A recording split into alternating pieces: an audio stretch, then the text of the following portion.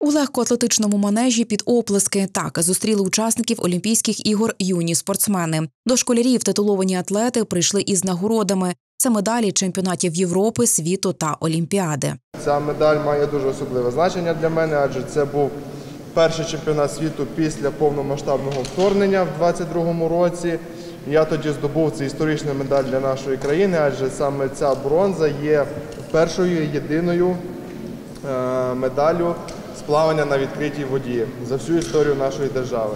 Тренувався та не припиняв навчатися. Про свій шлях у професійний спорт дітям розповів титулований плавець Михайло Романчук. До слова, школу він закінчив із золотою нагородою. Медальну ж стежину на міжнародних стартах розпочав турувати з 18-річного віку. Тоді і завоював перше європейське золото. Одна із мрій це в першу чергу, щоб е, е, розвивати спорт в Україні.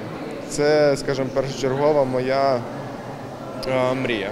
Полюбляла малювати, натомість обрала спорт. Легкоатлетка Марина Бах-Романчук без поважної причини не пропускала тренування. А улюбленим предметом у школі була фізкультура.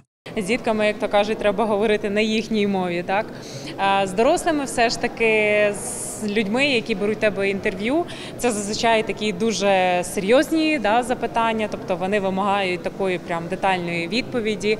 І, наприклад, для мене найважче саме англійською правильно сформулювати свою думку, тому що це доволі така весела, скажімо, весела ситуація буває. Фристайлістка Ольга Полюк розпочинала свою спортивну кар'єру зі спортивної гімнастики лише потім, коли стала майстром спорту України, спробувала себе у лижній акробатиці. Чому я переходила?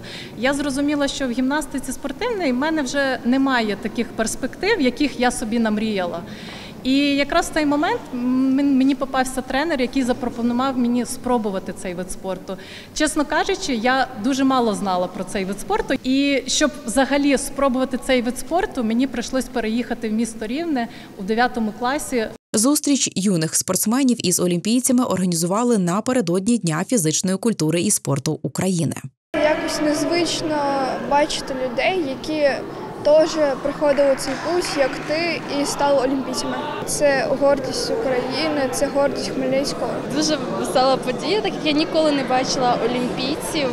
Це було вперше в житті. У мене таке. Я підходила до Михайла. У мене є його фотографія. Просто попросила його автографа. Він мені розписався.